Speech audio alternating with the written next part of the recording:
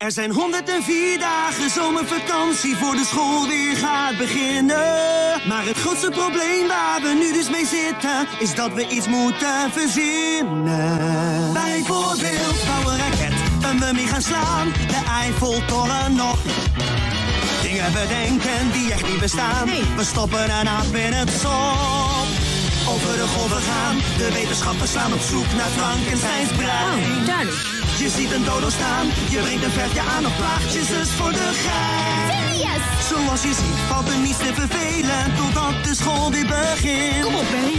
Dus hou je vast, want Phineas en Ferb gaan samen door het lint.